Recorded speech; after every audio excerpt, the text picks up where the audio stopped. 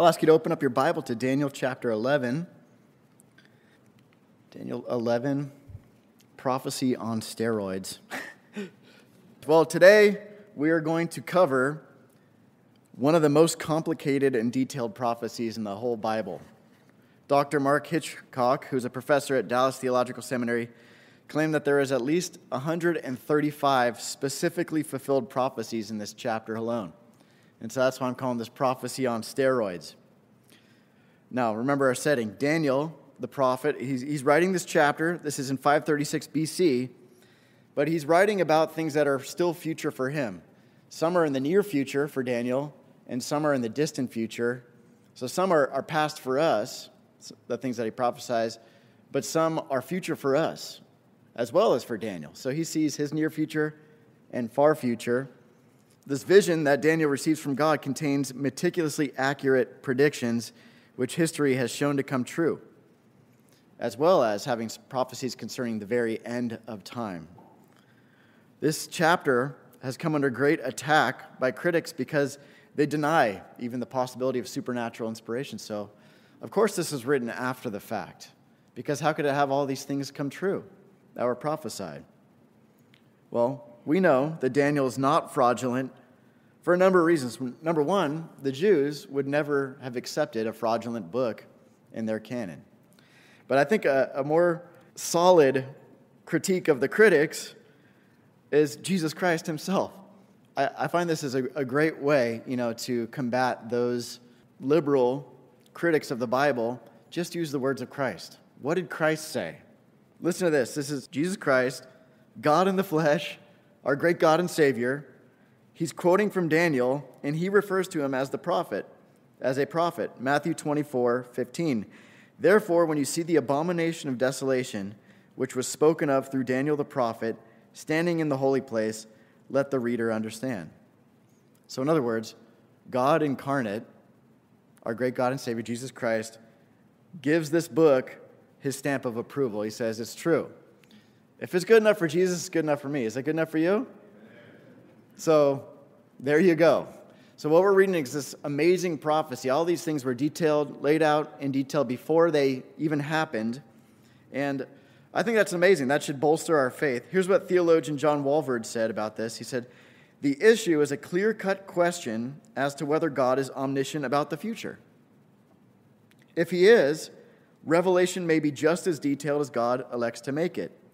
And detailed prophecy is no more difficult or incredible than broad predictions. I just find it amazing how people can believe in an all knowing God and then think it's too hard for him to predict the future and tell us about it. It's like, what? Anyways, to get the scope of this vision, uh, here's a bird's eye view, more or less. Verse 1 and 2 of the chapter have to do with Persia. Verse 3 through 20 have to do with Greece.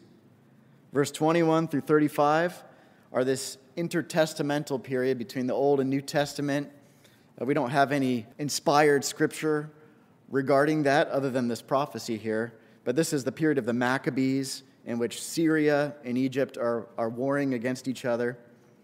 And then 36 through 45 is this incredible section, which is in the distant future for Daniel and future for us as well regarding the Antichrist. And so we're going to get a couple more bits of information about this future world ruler that we know as the Antichrist here in this chapter. So that's, that's the scope as far as nations go. As far as rulers go, there's actually five prominent rulers mentioned in this chapter, and they all begin with A. Verse 2 mentions Ahasuerus, aka Xerxes. Verse 3 through 4 are about Alexander the Great. Verse 10 through 20 are about Antiochus III, also known as the Great, Antiochus the Great. Verse 21 through 35 are Antiochus IV Epiphanes. We've talked about him before. Remember that slime ball Syrian king who is a foreshadowing of the Antichrist? And then verse 36 through 45 are, are the future Antichrist in view there. So, with all that said, I know this might be a difficult study today. Believe me, I'm doing my best to break this down in an understandable way. But if you get nothing else from today, I thought I'd give you the points right up front. How's that sound? So let's, let's actually say these together so we can affirm these. Ready? God is faithful. God is in charge and can be trusted. God will deal with evil. Let's say it again. God is faithful, God is in charge and can be trusted, God will deal with evil. That's the bottom line. Should we close in prayer? Let, us go through the text. Uh, we're going to talk about these again, but I wanted to give you these up front. These, these are truths that we can take home, even if you get lost in a little bit of the history today. But this first section that we read is the near future for Daniel. These are things that are past for us, but that were future for Daniel. As we pick up the chapter, remember that this is an angel speaking to Daniel. Chapter 10, we saw that whole thing about the angelic warfare and it's likely Gabriel that is speaking to Daniel here after a delay of three weeks. And so he's, he's giving him this vision. Now, that, here's the vision in chapter 11, and chapter 12 is kind of like a postscript to the whole vision. One fascinating thing about this is this vision that we're reading today was so important that Satan wanted to thwart it from even getting to us. He didn't want this to be recorded and reported. And so I find that fascinating. Satan didn't want us to read this today let's see what it is. The angel broke through and shared this message with Daniel. And so let's read it. First, let me pause and pray. Heavenly Father, we give this morning to you. Lord, enlighten our minds this morning. We need you, God. There's important truth here for us, not only for knowledge, Lord, but for wisdom in living, to know what's ahead, what to expect, and ultimately to know that you're in control of history, you're in control of the future. Father, thank you for this morning. We pray that we would use it for your glory. In Jesus' name we pray. Amen. Okay, let's look at verse 1 and 2 of Daniel chapter 11. It says this In the first year of Darius the Mede, I arose to be of assistance and a protection for him. Let me pause right there, real fast. This I, remember, this is the, the angel speaking. So I find this fascinating. Here we have this angel saying that he arose to be of assistance and a protection for this Persian king. Well, remember, this is the guy who sent the Jews back from exile, back to start rebuilding Jerusalem, to go back to their homeland. And so I think this angel here has a special ministry of protecting Darius, the Mede, so that he can do his ministry for the Jews. Now, continuing on, verse 2. And now I will tell you the truth. Behold, three more kings are going to arise in Persia. Then a fourth will gain far more riches than all of them as soon as he becomes strong through his riches, he will stir up the entire empire against the realm of Greece. Six years after the angel spoke these words to Daniel, these prophecies start to become true. After Darius the Mede, also known as Cyrus, there were three more kings of Persia Cambyses, here's, here's a good name, Pseudo Smerdis. Uh, fake Smerdis, I guess. he, he, he wasn't a real Smerdis, he was a fake Smerdis. But, anyways, Pseudo Smerdis, and then another Darius the Great. Again, I don't know if these guys gave themselves these names. No, Alexander the Great, Antiochus the Great, Darius the Great. And then we have this fourth Persian king, Xerxes, who was the king reigning during Esther's day.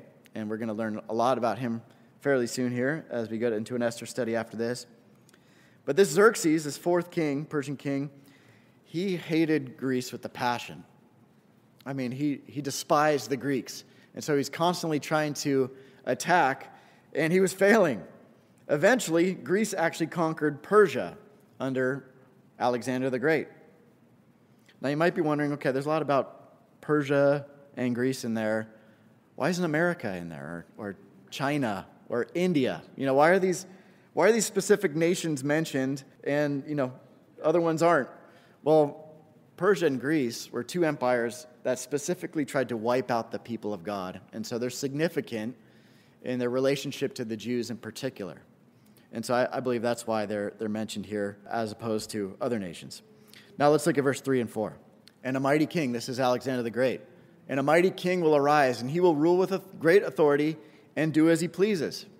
But as soon as he has arisen, his kingdom will be broken up and parceled out toward the four points of the compass though not to his own descendants, nor according to his authority which he wielded, because his sovereignty will be removed and given to others beside him.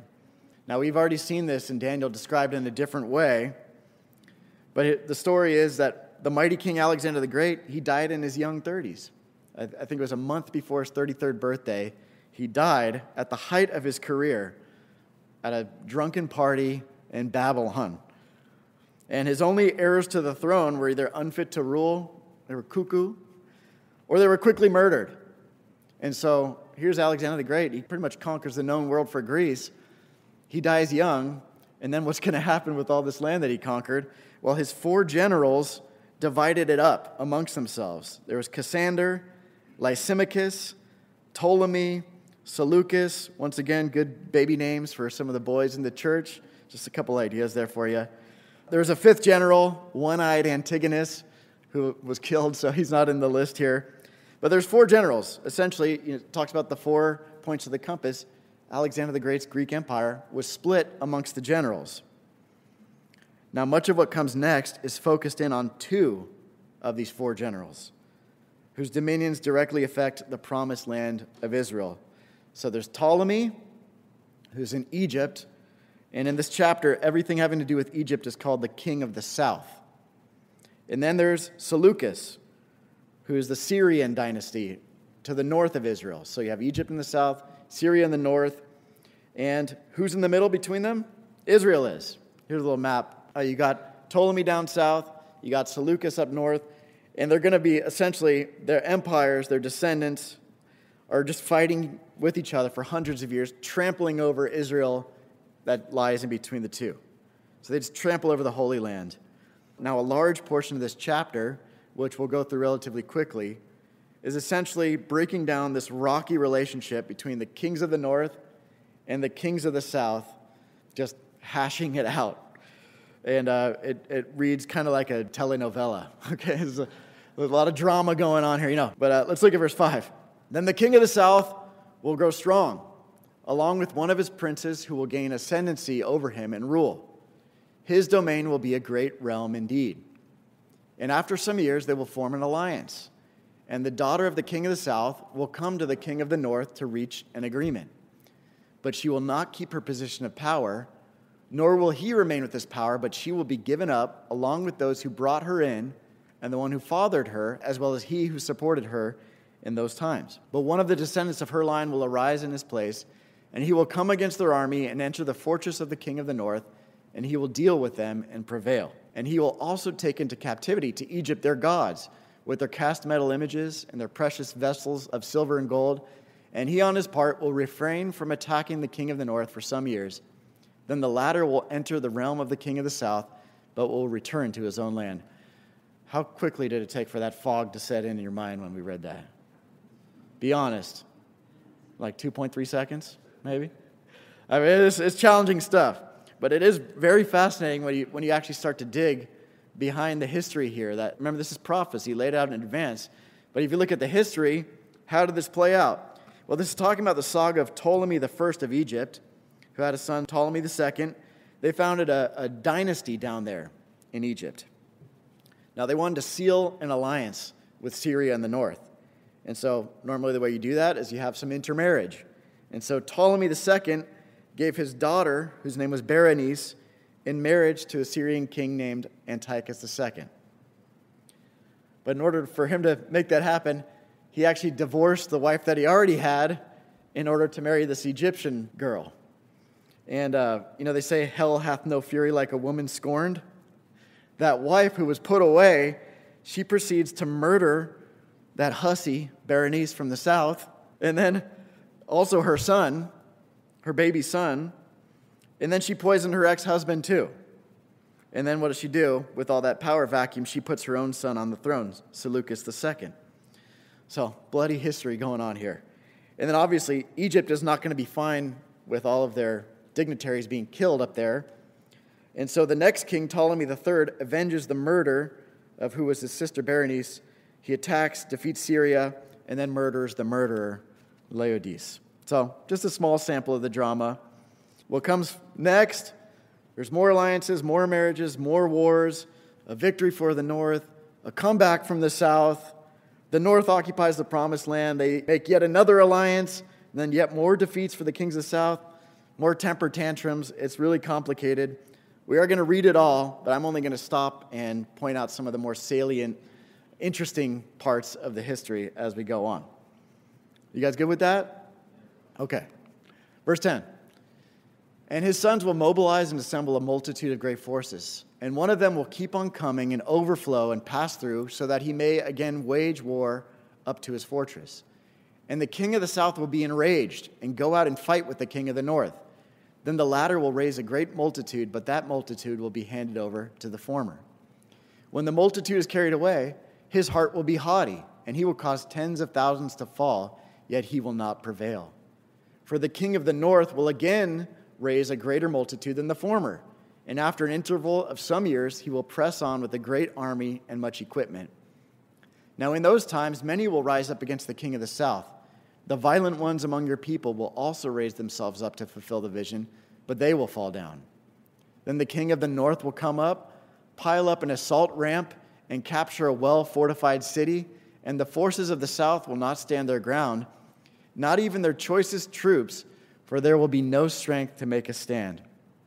But he who comes against him will do as he pleases, and no one will be able to withstand him. He will also stay for a time in the beautiful land with destruction in his hand.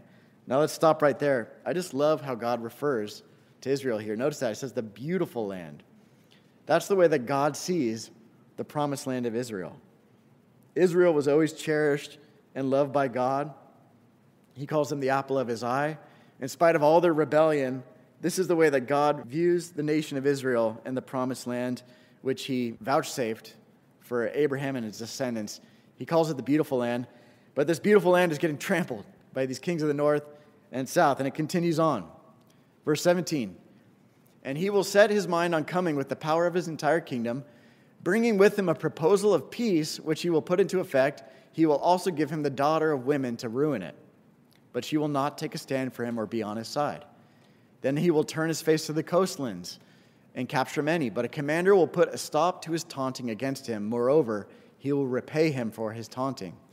So he will turn his face toward the fortresses of his own land, but he will stumble and fall and not be found. How many of you guys have ever heard of Cleopatra before? Cleopatra? There's actually a few different Cleopatras, but as I'm doing the research here, I, I like to visualize the people. Sometimes there's these marble busts of, of these different characters. Look at what Cleopatra looks like. She looks like me. I'm looking at this picture, I'm like, oh my goodness, man. I had no idea Cleopatra looked like me. anyway, I just thought that was crazy. But uh, here's the story in a nutshell. Just like we saw the Egyptian king do before, with uh, trying to make an alliance through uh, sending a daughter up north, now they're doing it in reverse. The Syrian king, Antiochus III, tries to make an alliance with Egypt by offering his daughter in marriage, this Cleopatra here. She was 11 years old at the time. He sends her down to marry Ptolemy V of Egypt. And this is his plan I'm going to destroy Egypt from within. I'm going to send my daughter down there to marry this Egyptian king, but she's going to be my spy. It didn't work out as he planned because she actually fell in love with her husband. I mean, that's kind of amazing how that worked in this arranged marriage. But she had more allegiance to the Egyptian dynasty than the Syrian, and so it didn't work out. Antiochus III then got so mad that he came down to attack Egypt, but he was unsuccessful. And then what did he do? He returned back home and took out his rage on his own people. That's what it's describing in these verses. He attacked the temple of Jupiter, and his citizens were furious at their leader for doing this. And so they rose up and killed him, and his body was never found. So there's some pretty interesting stuff going on in history here. Now we're going to hit a longer section and remember Antiochus IV Epiphanes, that madman, the foreshadowing figure of the Antichrist. Now we start to talk about him. I'm going to do verse 20 through 35, so buckle up. Then in his place one will arise who will allow an oppressor to pass through the jewel of his kingdom. Yet within a few days he will be broken, though not in anger nor in battle. And in his place a despicable person will arise, on whom the majesty of kingship has not been conferred but he will come in a time of tranquility and seize the kingdom by intrigue. And the overflowing forces will be flooded away from him and smashed, and also the prince of the covenant. After an alliance is made with him, he will practice deception, and he will go up and gain power with a small force of people. In a time of tranquility, he will enter the richest parts of the realm, and he will accomplish what his fathers did not, nor his ancestors. He will distribute plunder, spoils, and possessions among them, and he will devise his schemes against strongholds, but only for a time. And he will stir up his strength and courage against the king of the south with a large army. So the king of the south will mobilize an extremely large and mighty army for war, but he will not stand because schemes will be devised against him. Those who eat his choice food will destroy him, and his army will overflow, but many will fall down slain. As for both kings, their hearts will be intent on evil, and they will speak lies to each other at the same table, but it will not succeed because the end is still to come at the appointed time. Then he will return to his land with much plunder, but his heart will be set against the holy covenant, and he will take action and then return to his own land. At the appointed time, he will return and come into the south, but this last time it will not turn out the way it did before, for ships of Kittim, that's the island of Cyprus, will come against him. Therefore, he will withdraw in fear and will return and curse the holy covenant and take action. So he will come back and pay attention to those who abandon the holy covenant. This is where it's turning towards the, the Jewish people. Forces from him will arise, desecrate the sanctuary fortress, and do away with the regular sacrifice, and they will set up the abomination of desolation. Everybody say that abomination of desolation. That's an important phrase. We talked about this before, uh, but this is something that Jesus also talked about in reference to the future, a future thing that's going to happen in the sanctuary. Verse 32 And by smooth words, he will turn to godlessness those who act wickedly toward the covenant. But the people who know their God will be strong and take action. And those who have insight among the people will give understanding to the many. Yet they will fall by sword and by flame by captivity and by plunder for many days. Now, when they fall, they will be granted a little help, and many will join with them in hypocrisy. And some of those who have insight will fall to refine, purge, and cleanse them until the end time, because it is still to come at the appointed time. Okay, you can pat yourself on the back for making it through that much text there. Now, Antiochus IV Epiphanes, we've already met this despicable person in our study. He's the slime ball He's the Antichrist of the Old Testament, you could say. He's the little horn of chapter 8. He's the madman. He's the one who called himself Epiphanes. In other words, God manifest. Hi, nice to meet you. I'm God. That, that, that was his mindset. Horrible person. Now, what a lot of what we read is describing his rise and kind of his finagling his way into power through bribes and gifts. He actually had no legitimate claim to the Syrian throne uh, but he weaseled his way in there. And as Syrian king of the north, he stirred up battle once more with the Egyptian dynasty down south. But he couldn't win. The Egyptians partnered up with the Roman navy and they spanked the Syrians. They sent them back home. And actually, there's this fascinating story about how this uh, Roman general drew a line in the sand around Antiochus where they're, they're coming up for a little parley together. And this Roman general drew a circle around him he said, By the time you step out of that circle, you need to tell me if you're going to retreat or advance. If you decide to advance, we're going to crush you. But if you decide to retreat, that's good for you. you. You can get out of here without us attacking your back.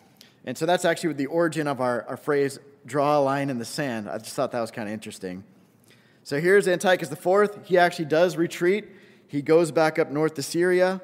He leaves with his tail between his legs submission to the Romans, but he's ticked. And these guys got to take it out on somebody, right?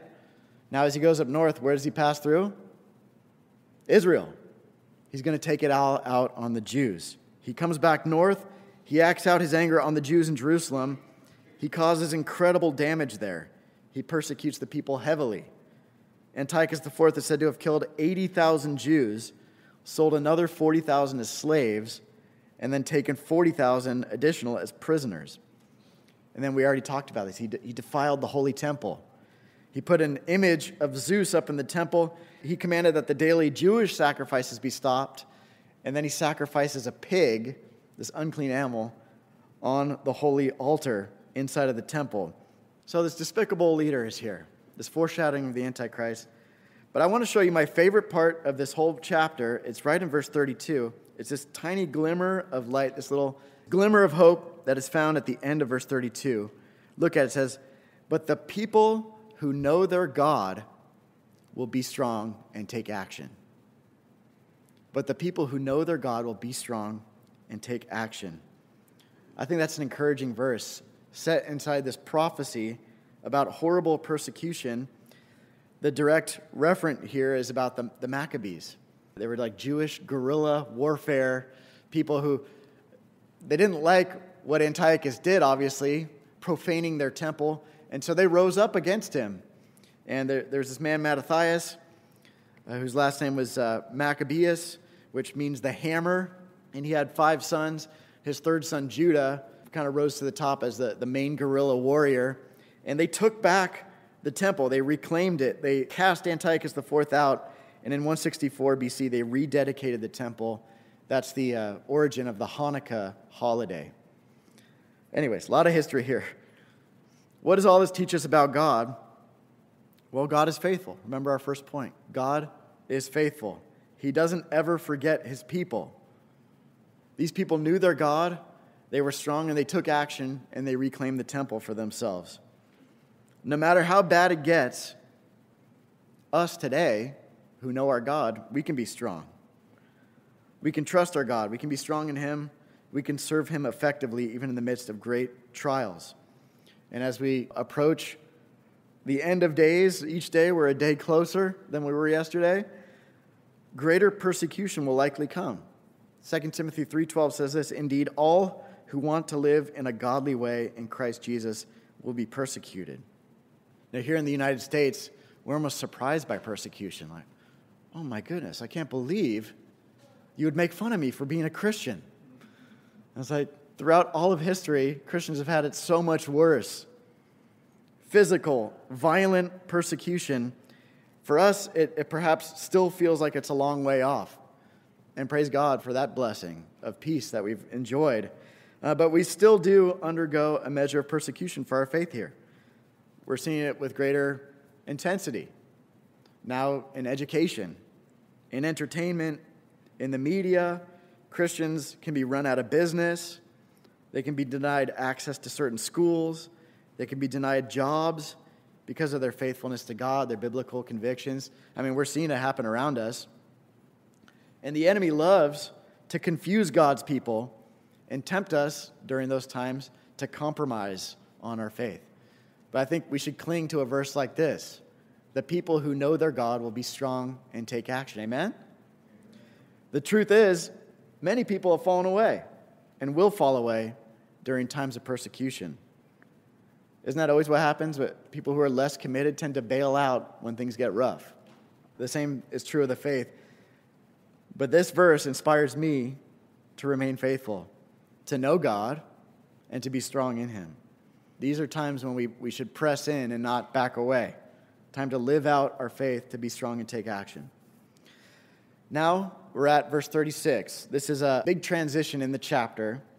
This is a major shift in the prophecy because what we read now is future for us.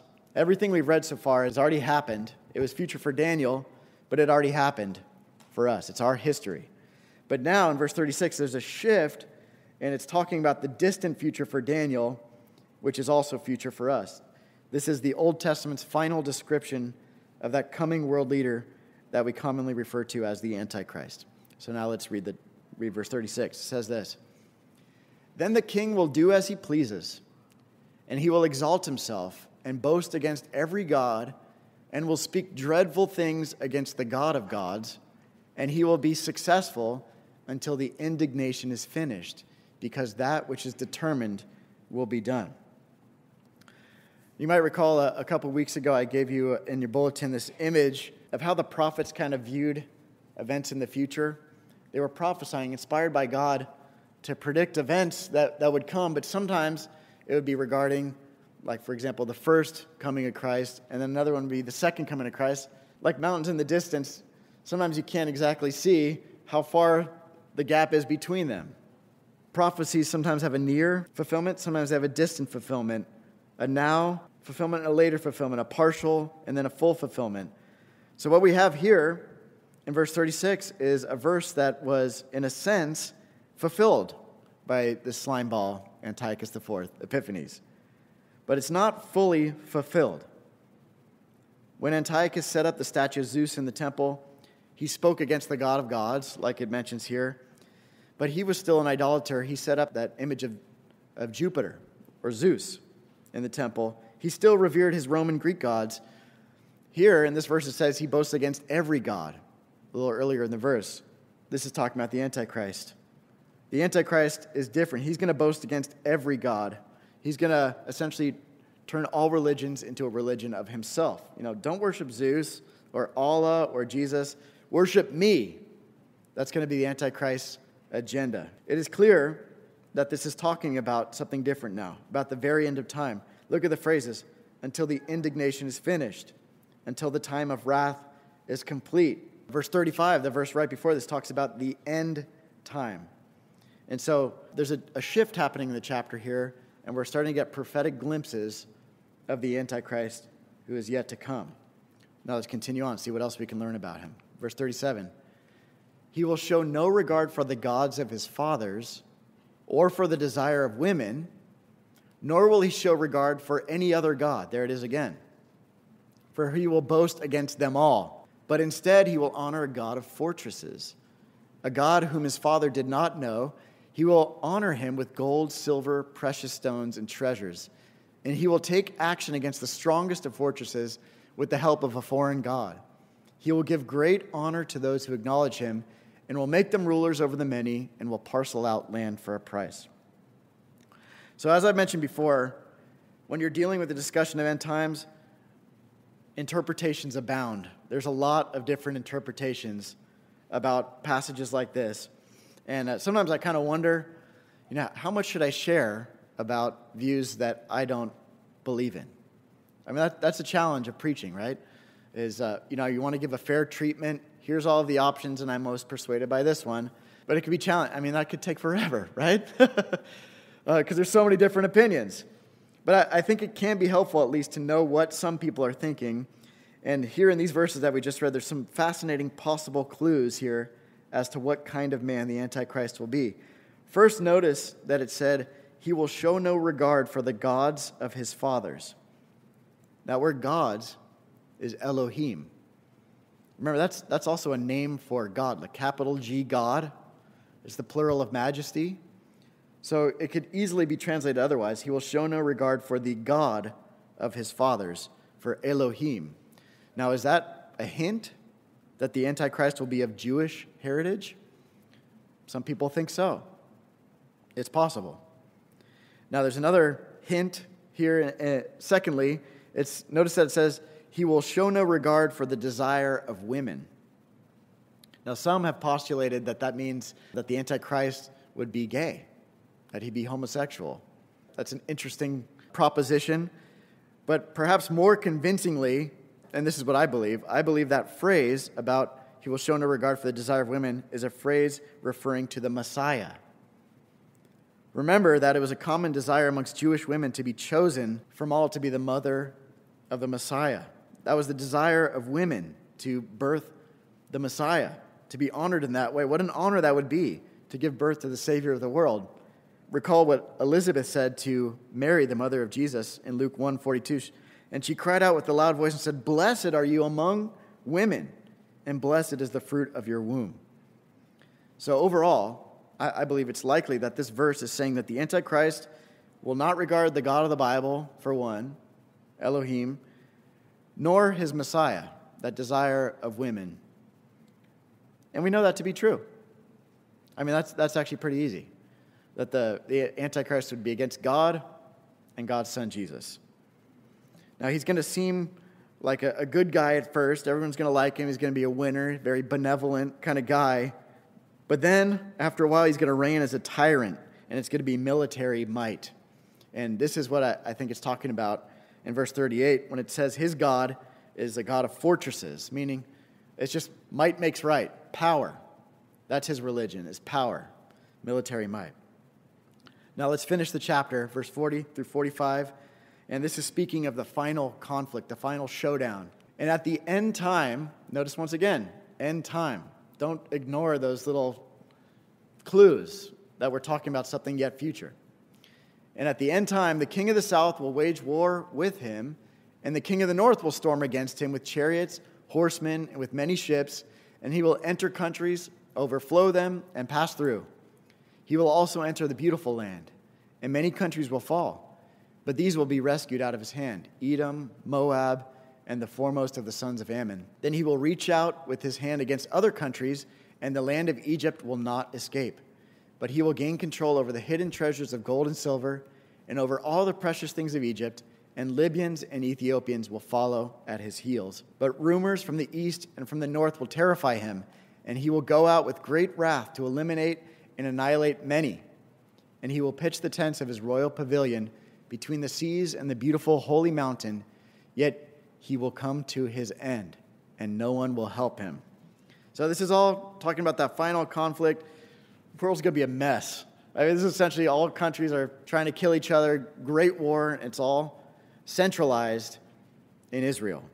The end of the world is marked by tremendous conflict. All of the world's armies will be gathered in Israel to do battle. And in the end, Antichrist will fail. He's going to fall just like his foreshadow, Antiochus IV Epiphanes, fell. So you can kind of summarize the Antichrist life like this from the verses that we read. Verse 36 He's going to do what he wants, he's going to deify himself. He's going to defy the true God. Verse 37, he's going to disregard all religion. Verse 38, he's going to devote himself to the military. Verse 39, he's going to declare war on foreign powers. Verse 40, he's going to defend himself against other nations. Verse 41, he's going to defeat some early enemies. Verse 43, he's going to develop great wealth. And verse 45, he's going to be defeated and no one will come to his aid. I think that's the greatest part of this whole chapter. He will come to his end. He will come to his end. The final expression of human pride, the Antichrist, is going to get crushed. Now, back to our main points to conclude today. What does this all teach us about our God? God is faithful, God is in charge, and he can be trusted, and God will deal with evil. God is faithful. He doesn't forget his people. Rather, as we saw in verse 32, he strengthens them in trials and he rescues them. I mean, if God had a plan for all these kings of the north, kings of the south, all these, you know, Ptolemies and Seleucus and Antiochus, you can bet that he's got a plan for your life too. God can sort all of it out, and you have a place in God's plan. He, he's faithful. Secondly, God is in charge, and he can be trusted. God knows things before they happen. He knows the future better than we know the past. And all these fulfilled prophecies give us confidence in the fact that God is in control. He's the one orchestrating all things. I think that they should fuel our faith in what is yet to come, those things that have been revealed to us in the Bible about the future.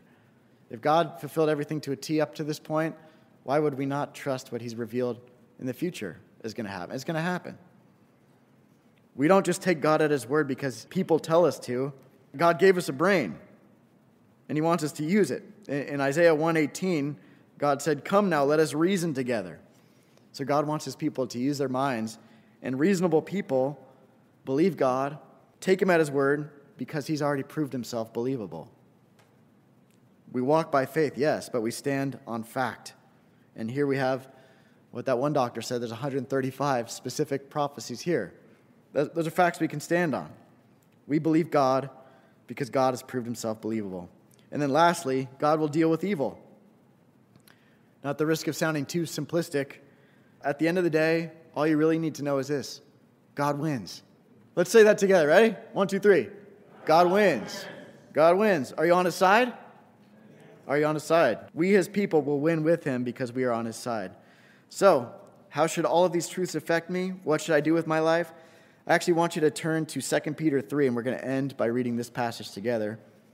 2 Peter chapter 3, starting in verse 3. We've been living in the last days since Jesus ascended to heaven.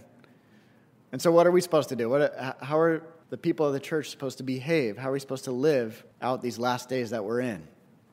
This is what Peter says, the wisdom that God gives him to share.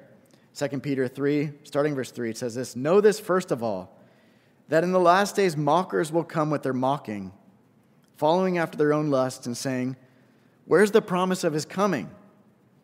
For ever since the fathers fell asleep, all things continue just as they were from the beginning of creation.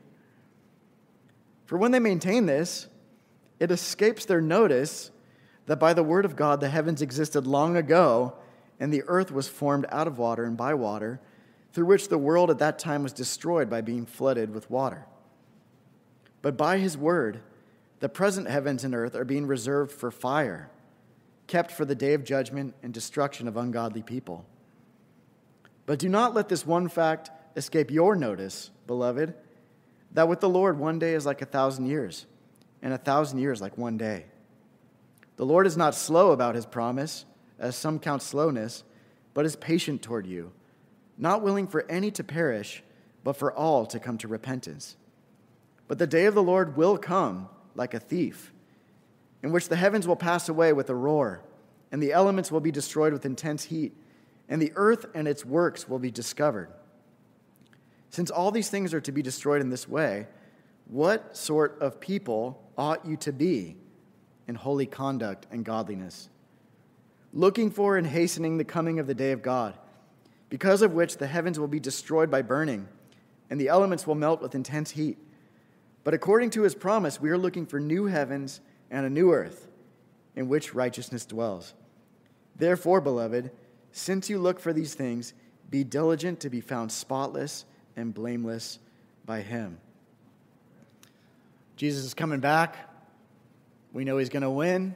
All opposition against Him will fall. But in the meantime, let's live like the winners that we will be one day.